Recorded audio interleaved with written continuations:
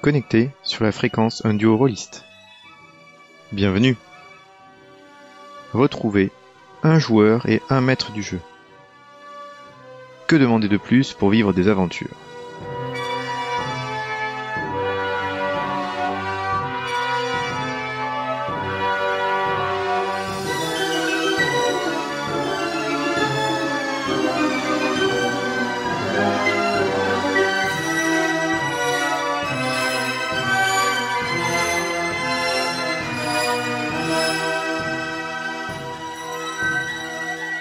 Aujourd'hui, nous nous lançons dans une nouvelle saison grâce au studio Agathe et le monde d'Eana pour Donjons et Dragons 5ème édition.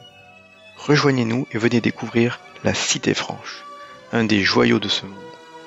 Mais des tourments l'assaillent et un simple apprenti magicien, même pas éveillé à la magie, va se retrouver et contribuer sans s'en douter au plus grand chamboulement depuis la naissance du dieu Tamérak.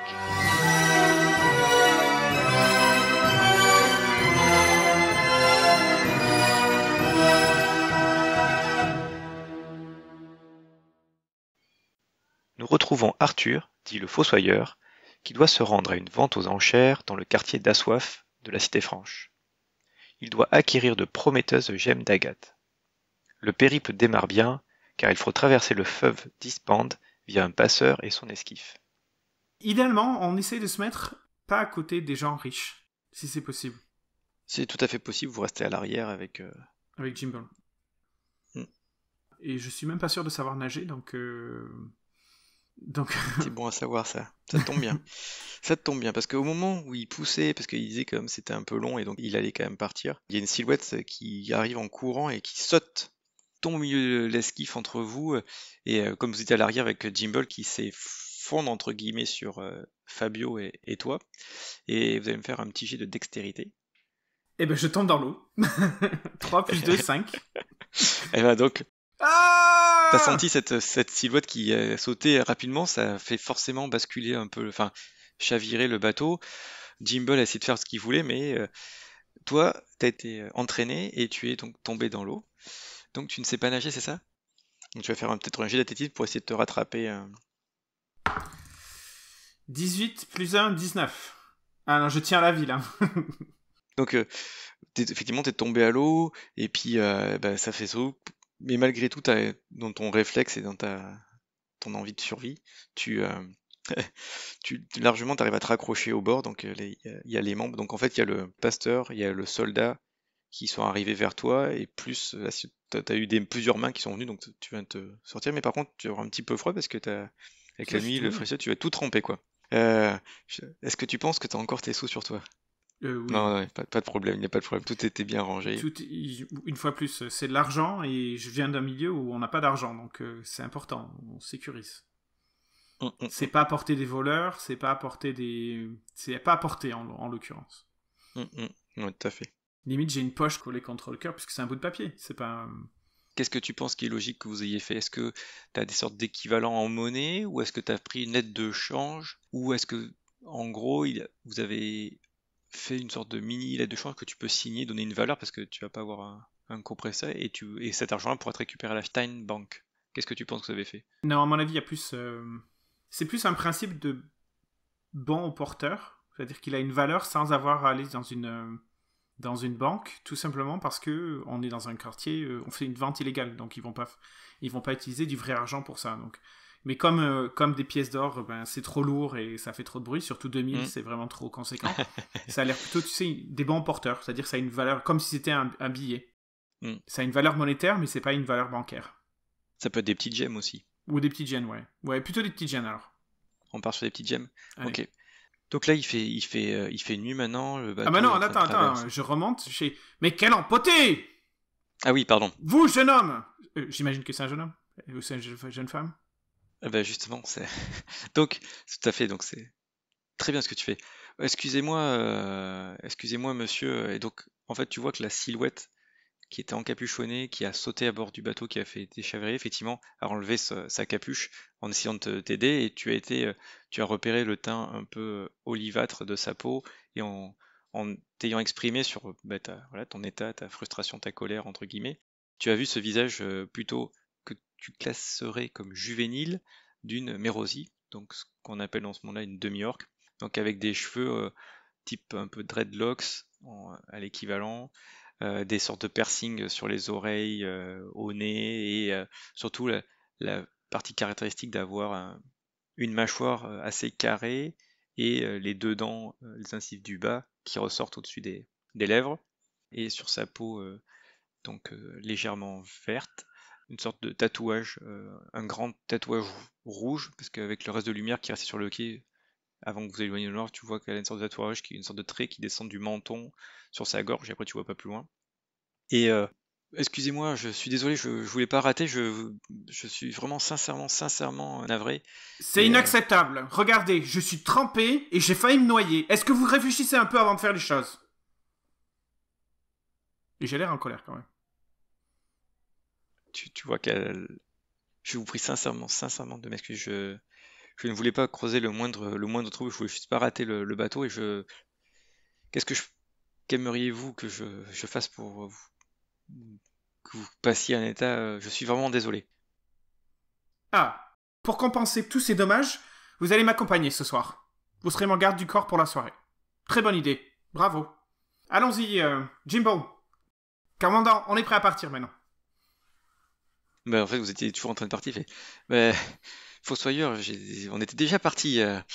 D'ailleurs, euh, mettez-vous bien parce que là, on va arriver dans la partie où on n'aura plus de lumière et euh, si vous pouviez tous rester sagement sur le milieu, ça m'arrangerait. Donc, bah, donc finalement, vous êtes au fond avec Fabio et donc cette Mérosie qui s'assoit avec vous. Je, je ne suis pas sûr de pouvoir vous accompagner votre soirée. J'ai aussi des, affaires à faire de, mon côté. Vous avez vu dans quel état je suis? Je, peux au moins vous accompagner si vous voulez à, l'endroit où vous vouliez aller, mais je, ne resterai pas parce que j'ai moi-même mes affaires à faire. Est-ce que ça peut vous, ça peut être, Ça me va. Euh, ça me va. Donc tu vois qu'elle te tend sa main pour saigner, et donc tu vois aussi tu réalises qu'elle avait une sorte de bâton, donc sur lequel elle est appuyée. Donc elle a une sorte de bâton travaillé, taillé, avec euh, plein d'inscriptions dessus. Il y a une sorte de petits colis fichés ou de choses comme ça autour. Et elle te tend la main de la même façon qu'a fait Jimble, cette façon de s'accrocher la main euh, qui est clairement une marque de la cité franche. Par contre, elle a un accent quand elle a parlé, toi qui, est, qui viens de Cyrilane et qui arrive à la cité franche, elle a clairement un accent, elle n'est pas du coin, elle n'est pas de la cité franche. Elle, elle t'a fait le geste qui est typique, donc elle a les habitudes de la cité franche, mais elle vient pas de la cité franche. mais moi non plus. Je sais pas encore euh, l'accent qu'il a, mais je pense que j'ai plus un accent euh, avec beaucoup plus d'intonation. D'ailleurs, on reparlera du, du, secteur où tu vis, Cyrilane, parce que tous les. À moins que tu aies une, une autre vision que ça, mais sinon, les réfugiés, en fait, il y a un quartier spécifique dans la Cité Franche qui, a été construit lors du traité des 50 pour les personnes issues de, de Mais là, avec la chute de l'Empire, ça fait à peu près deux ans qu'il y a eu la chute de l'Empire, euh, il y a beaucoup de réfugiés qui s'y sont installés en fait. Donc, euh, ça est dans le quartier des Sœurs, encore le quartier des pauvres, avec qui s'appelle le quartier des Sœurs aussi. C'est là que la plupart des réfugiés syrilanes sont installés. Déjà, je suis pas réfugié et en plus, euh, j'ai un logement à, l'école. J'ai une style euh, un placard, la chambre d'Harry Potter, tu sais, sous le sous l'escalier. Voilà, j'ai la chambre d'Harry Potter à l'école de magie où, j'apprends la magie parce que comme je leur ai donné tout mon argent et que j'avais pas d'endroit pour habiter, donc j'habite euh, j'habite là quoi. On va faire le décompte des argents dans, dans cette aventure là. Je pense que ça ne suffira pas, monsieur. Il faudra payer un petit peu plus Faut travailler un petit peu, monsieur. Ah non, non, je travaille. Hein. Je travaille, je travaille en ville, etc. etc. je, travaille, mais j'ai un, un, placard à, l'école. C'est là, mon, là mon truc. En plus, c'est pratique parce que je suis jamais en retard en cours. Parce que j'ai juste la sortie de placard et tourner à droite, et puis je suis dans la salle de classe. Donc je lui serre la main et je lui fais un petit sourire quand même. Parce que, bon, je suis pas un méchant à la base. Et je dis, très bien. Si vous m'accompagnez jusqu'à là-bas, je considérerai que votre dette est et remboursé. Je me nomme Arthur, mais tout, le monde m'appelle le Fossoyeur. Enchanté. Euh, bonsoir, messire Arthur.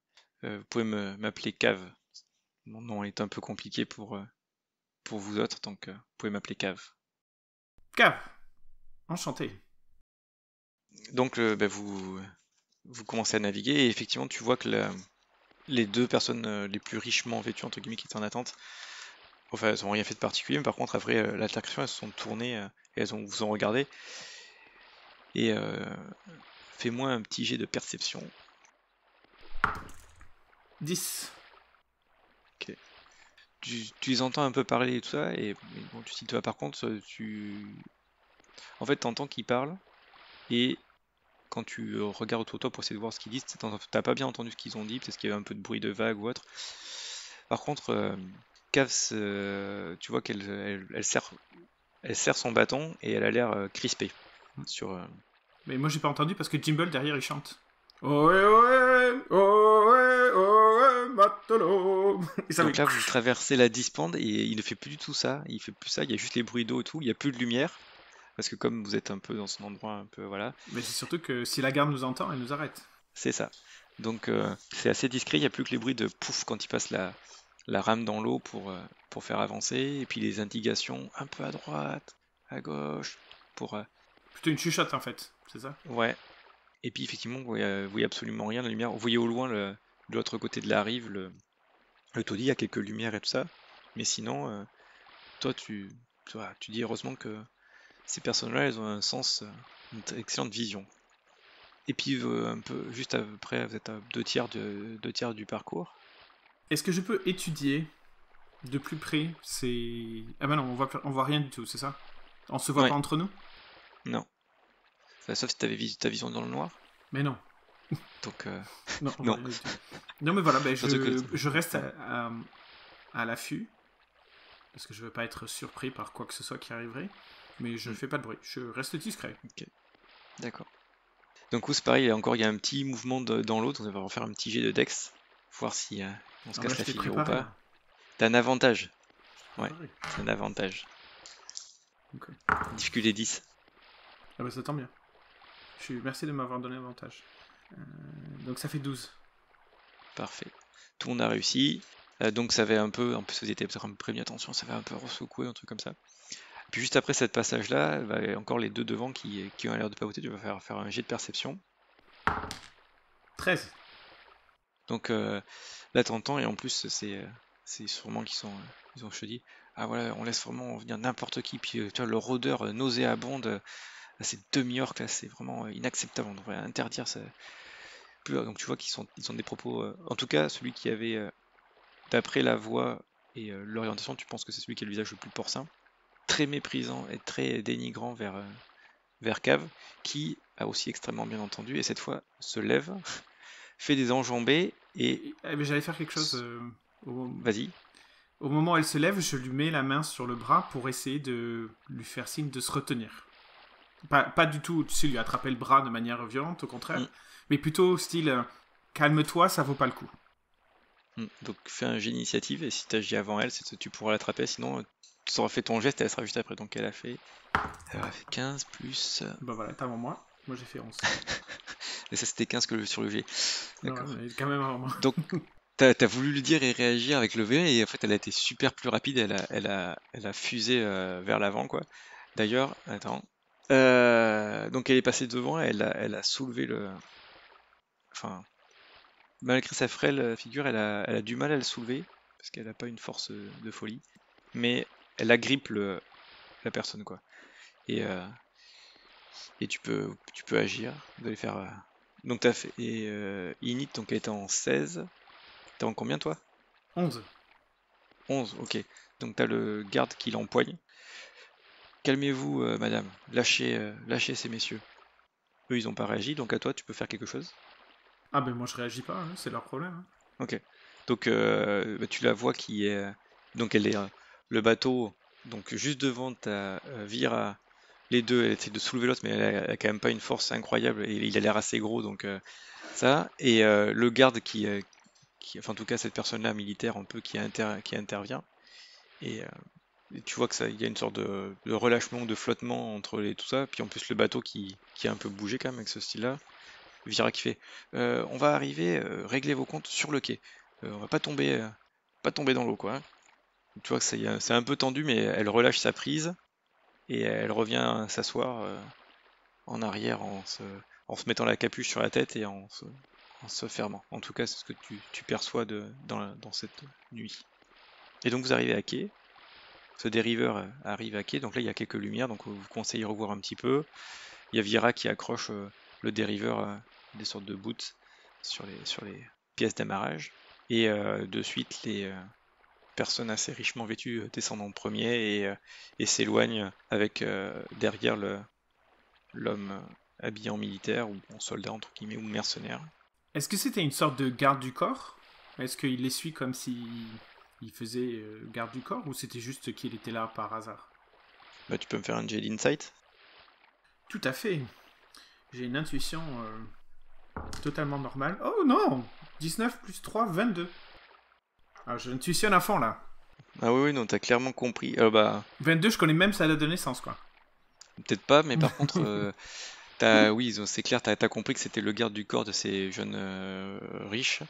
Peut-être même t'as compris par rapport à comment ils sont partis, et ils sont partis que autant celui au visage un peu plus porcin était euh, l'aîné de la famille et avait eu des propos méprisants et ça, autant l'autre a l'air d'être plutôt euh, pas effacé, mais il a l'air de suivre contraint son aîné. Euh, et, le garde du corps qui a l'air tout à fait un parfait, garde du corps, impassible, qui ne laisse pas transparaître quoi que ce soit, qui fait juste son, job. Voilà. Et donc vous descendez donc avec Fabio, Cave et toi, et puis euh, Jimble qui vous dit Bon, ben, je souhaite une bonne soirée. Je serai là pour votre retour. Merci, commandant. encore une traversée réussie. Oui, un petit peu de, sensation, mais bon, ça fait, ça fait partie de l'aventure. Hein. Oui. Euh, à tout à l'heure. Prenez soin de vous. l'heure.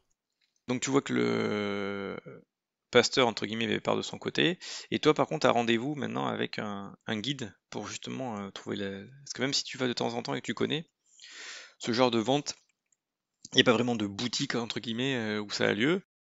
Effectivement, avec ton réseau aussi que tu sais, ben, les affaires un peu illicites ont plutôt lieu dans la partie euh, des réseaux souterrains et des ces labyrinthes qui des fois donnent sur, des grandes places ou choses comme ça. Donc ça, voilà, l'événement a dû être installé quelque part et euh, pour ce faire, avec ton réseau, tu avais pris contact sûrement en amont. Je pense pas que ce soit ton mentor qui ait l'information, mais d'avoir un guide qui puisse t'amener au lieu de la, on va dire, de la vente aux enchères. Pas de problème. Donc je, fais signe à Cave euh, de venir et tu dis, c'est par là. On va y être rapidement, vous inquiétez pas. Donc tu fais un petit perception pour trouver ton guide. Est-ce que ça ferait, vu ce que tu m'as dit, ça ferait sens que tu es un guide, entre guillemets, enfin, quelques personnes que tu connais? Donc tu aurais déjà pris rendez-vous avec une personne euh, spécifique, ça te fait sens? Ouais. Surtout étant donné que je transporte autant d'argent, je l'aurais pas fait. Il y a rien. En fait, j'ai beaucoup planifié à l'avance. Ok. Ça veut pas dire que j'ai planifié à tous les... Je suis pas un maître stratège, mais tu vois, les trucs les plus évidents, avoir le guide, savoir comment le reconnaître, euh, et tout ça, euh, je, je le sais déjà, quoi. Hmm. Donc tu vas me faire un petit jet de perception avec avantage. Difficulté 12. Parce qu'il y a quand même un petit peu de monde, c'est un peu pas éclairé, c'est pas hyper... 18. Euh, aucun problème. Donc t'as repéré et ça a été... ta guide devait être placée comme il faut, car ta guide est une, est une petite pied léger donc une alflin, qui s'appelle Calice sous le pont. Une, euh, tu, pareil, tu as du mal forcément à définir leur âge, mais c'est une, donc une jeune, une jeune femme avec euh, des, cheveux mi-longs attachés en, en chignon collé pour être libre de ses mouvements, donc couleur, euh, une sorte de, rouge un peu très foncé, quoi, tourne plutôt sur le dernier foncé. C'est pas, du flamboyant, quoi, mais c'est une, couleur un peu rougeâtre. Elle a un visage toujours un petit peu sévère, vêtue avec des, euh, des nippes euh, en tissu et tout, mais qu'elle a rafistolé pour y mettre des euh, sortes de bracelets de cuir pour avoir du renforcé aux épaules, aux avant-bras, sur ses jambes. Donc elle est habituée à pouvoir se, se, débrouiller, ça c'est un guide, mais qui, qui, sait se, se, débrouiller quoi. Et sa particularité c'est qu'elle a comme un bandeau de pirate sur un œil quoi. Elle a perdu un œil, c'est ce qui la rend sévère aussi. Hein. Et donc, elle, euh, bah, tu, la, tu la repères et... Je m'approche. Mademoiselle Sulpan, toujours un plaisir. Ah, moi aussi. Bon, euh, ne traînons pas parce que j'ai pas mal de... On dirait qu'il y a pas mal d'activités ce soir. Il faut que je fasse guide. Mais je suis content de vous revoir. Ça fait vraiment euh, très plaisir, Arthur. Suivez-moi. ça n'a pas été très facile de trouver l'information. c'est une vente, votre, votre, votre endroit et... C'est une vente très privée. Voilà, tout à fait. Donc il y a pas mal de personnes qui vont être intéressées, mais, mais on dirait que les bandes se sont, euh, les tops se sont un peu euh, chamaillés pour savoir qui allait assurer la protection et ça donnait des lieux. Euh. Bref, bref, passons, passons, passons. Suivez-moi. Et donc là, tu vois, vous commencez à passer dans un dédale de. Donc vous enfoncez dans la ville, dans, dans la falaise. Donc... Je fais quand même les présentations. Hein. Miss Le Pan, voici Cave, Cave, Miss Le Pan. Miss Le Pan va être notre guide ce soir. Ah, euh, enchanté, madame. Euh, oui, euh, enchanté de, de vous rencontrer. Vente privée, oui, très bien. Euh, ben, je vais vous accompagner comme je vous l'ai dit, hein, mais après je- j'ai aussi moi-même mon, mon- mon- ma route à faire. Oui, oui, pas de problème. Et je suis sûr que contre euh, Monnaie sonnante et trébuchante, euh, Miss Sous le Pont sera ravie de vous accompagner où vous voulez aussi, si vous avez besoin d'un guide. C'est une excellente euh, information. Euh, tout à fait. Donc le, le transport là, du euh, transport en dériveur, c'était euh, euh, une pièce d'argent et euh, le transport de ta, de ta guide, c'est une pièce d'argent aussi, ce qui est plutôt cher, mais pour un service de qualité, on ne se refuse rien. C'est-à-dire qu'il faut que je décompte l'argent? Oui, tu peux te le noter. Tu vas me faire tu vas me faire compter les pièces, franchement? Moi qui n'ai Oui. jamais fait ça en tant que maître du jeu en 20 ans, Ouais. et toi tu me fais décompter les pièces de, de Pony.